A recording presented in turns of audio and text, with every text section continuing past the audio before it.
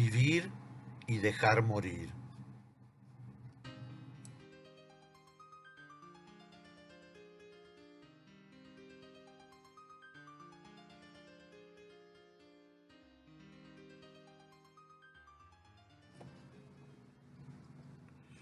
Los trabajos del autor relacionados con los temas de meditación, autoayuda, psicología y filosofía contienen exclusivamente material informativo, no debiendo ser interpretados como reemplazantes de asesoramiento profesional alguno. Su contenido no presupone recomendación de tratamiento médico o alternativo de ninguna especie y su utilización es responsabilidad exclusiva del video espectador y escucha.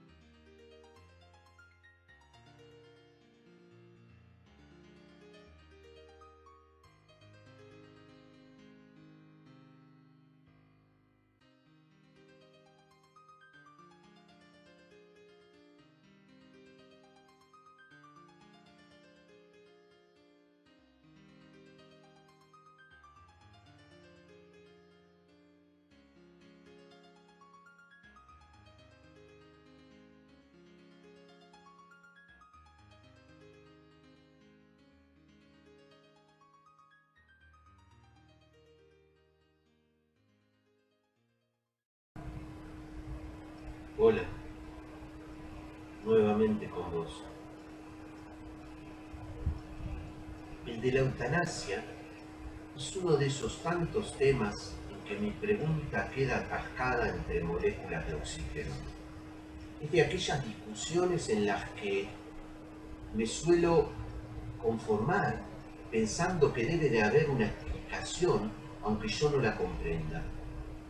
Dejemos de lado la religión, porque en nombre de la fe se suele argumentar cualquier cosa. Lo que yo no termino de entender es cómo se debate tanto con robustecidos pisos argumentales en su favor o en su contra.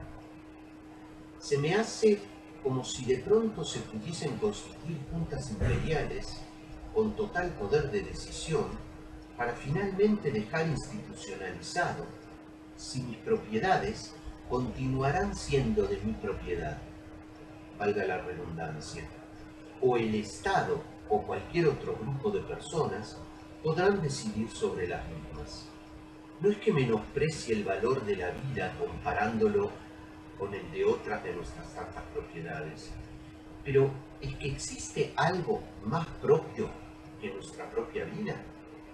¿Cómo que pueden las sociedades del siglo XXI arrogarse el derecho de querer obligar a una persona a permanecer con vida, infligiéndole quizás, vaya uno a saber qué sufrimiento, torturándolo de la manera más despiadada, puesto que sería una tortura amparada por la ley.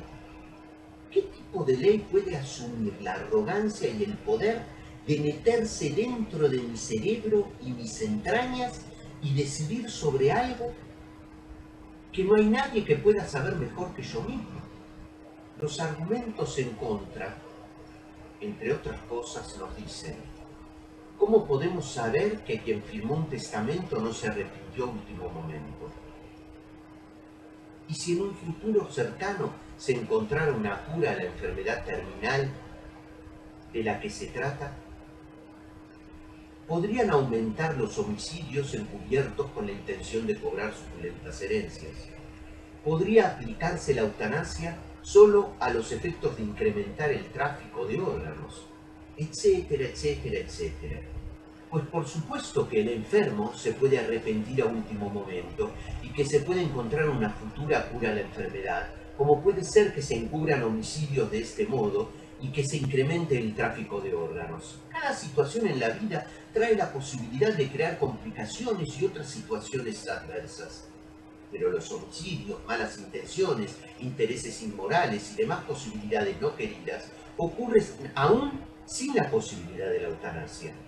En relación con el posible arrepentimiento por parte del enfermo, creo que se trata de una decisión privativa del individuo que posee la íntima convicción y asume la total responsabilidad frente respecto de su acierto o error.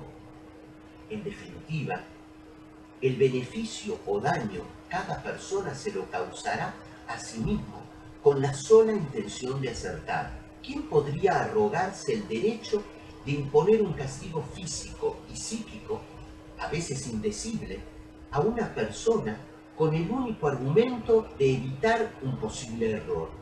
Estaríamos causando un daño seguro que no da lugar a errores durante un tiempo indeterminado y que a veces se hace eterno, acudiendo a tristemente débiles argumentos en procura de una hipotética e inexistente sociedad perfecta.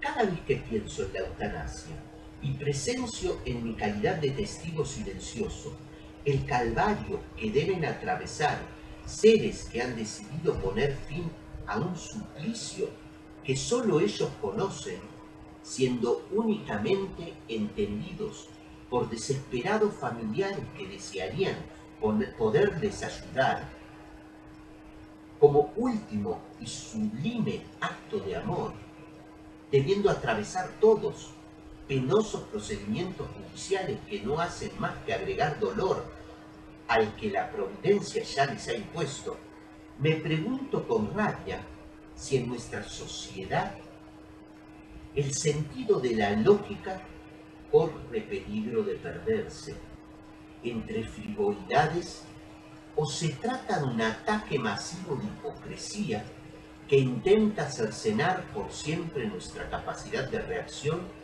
de compasión.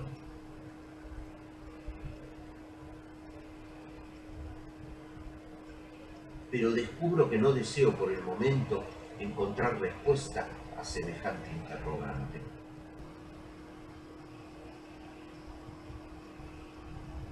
Por el momento, gracias y hasta la próxima.